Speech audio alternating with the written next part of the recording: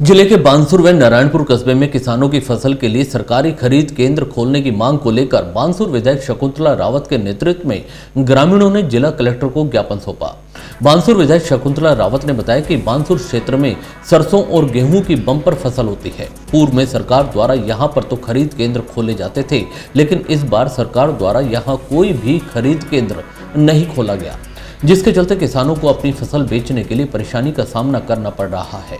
एक तो सरकार द्वारा फ़सलों का मूल्य भी सही नहीं दिया जा रहा, वहीं दूसरी ओर खरीद केंद्र भी नहीं खोले गए। उनकी प्रशासन से मांग है कि कम से कम बांसुर और नारायणपुर कस्बे में सरकारी खरीद केंद्र खोले जाएँ, जिससे कि किसानों को इधर उधर नहीं भटकना पड़े।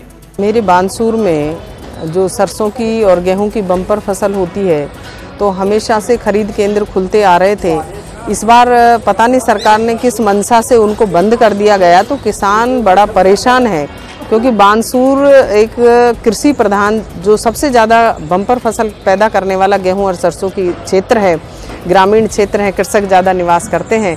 तो कम से कम वहाँ पर जो हमेशा से दो केंद्र खुलते आ रहे थे, एक तो बानसूर में खुलता था, एक फूटा जोहड़ा।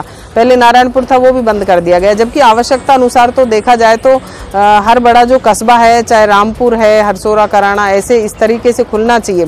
लेकिन उन्होंने तो मेन जो बानसूर विधानसभा क्षेत्र तहसील, जहाँ कृषि मंडी है वहीं पर नहीं खोला तो उसके लिए हम कलेक्टर साहब को आज लिख करके देने आए हैं मांग करने के लिए कि नारायणपुर में और बानसूर में कम से कम दो जगह तो खोला जाए, सभी जगह नहीं, जिससे कि किसानों को परेशानी का सामना नहीं उठाना पड़े, नहीं तो उनको भैरोड़ या खैरतल जाना पड़ेगा या अलवर में आना पड़ेगा। इतनी दूर इतने सारे किसान एक साथ ऊँट, गाड़ी और ट्रैक्टर, ट्रोली को लेकर के दुर्घटना का भी डर रहता है, लेकिन किसानों के हित की बात है ये, जो हमारी कांग्रेस सरकार उनको जो देती थी समर्थन मूल्य पे तो वो पैसे तो ये दे नहीं रही है सरकार।